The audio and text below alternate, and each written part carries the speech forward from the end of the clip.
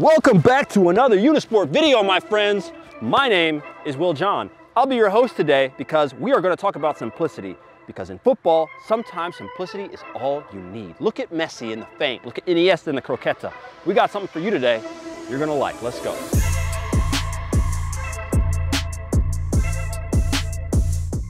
Do not underestimate simplicity. Don't underestimate the roll, which is the topic of today's video. We are going to go over why the roll is so important to you because you can start a move with it. When you're dribbling at a player, they know everything. They already know, hey, you're gonna go like this. But when you take that roll, you've got the option now, okay?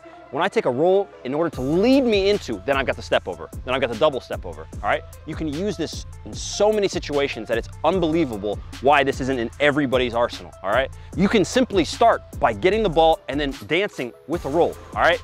And what's even better is you can lure a player in. Let them come into you when you're dancing with the ball and then boom, you pass it, all right? You pass and you go. Also, when you're on the sideline, when you're on the end line, and when you are in front of a goalie, oh my God, please use the roll. Now, one of the things that you're gonna need to do is take the ball out wide if you're right in front of a goalie or right in front of a defender, like you're going to shoot, and then drag it, all right? If you just drag it when you're right up under you, it's not gonna do anything, all right? No one's fooled by that. Make them believe you're gonna pass, cross, or shoot, and then you drag it with the roll. Now this, of course, is when you have tons of space. But what's gonna happen when the space is clamped down and you've really gotta be creative? That's what we've got for you next. Which floor am I on? Is this the lobby? No, let's go up here. Oh shit, that's down. Let's go. Uh, no, there we go.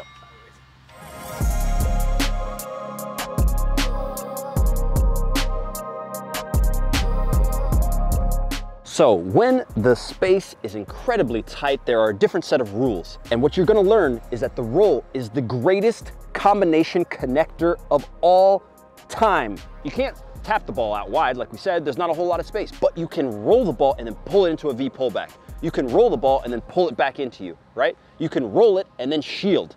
This is, it's endless. It's endless. You have no idea how many times it will save you. And one of the greatest things is that we've talked about the dancing on the ball before. Now, you can set yourself up by rolling the ball and then turn. Always know that you can shield. When there's not a lot of space, your best friend is a shield. You shield and then you can fall over. You can shield and then you can find a pass. You can shield and then go for the nutmeg. It's just, you've got to know that this move is a connecting move. Practice it a bunch by going left, right, left, right, rolling, all right? You've got to train this roll, that way you feel comfortable with it. So you can take the ball and over and over and over on one side and then switch, go with your right foot, go with your left foot. Make sure that you feel incredibly comfortable doing this slowly and then start to do it quickly and absolutely never forget that you can use the roll nutmeg because oh my God, is it embarrassing. If you can get that roll nutmeg in, good God, my friends, you've done it. I'm gonna take the stairs this time because elevator looks broken, so, all right. My friends, as you can see, I'm modeling the great statue Greco-Romanus footballist the third he would tell you that you need to train a whole lot and that you need to like, comment, and subscribe. And uh, we've got a lot for you down there in the description box here at Unisport. So we'll see you later. And uh, goodbye.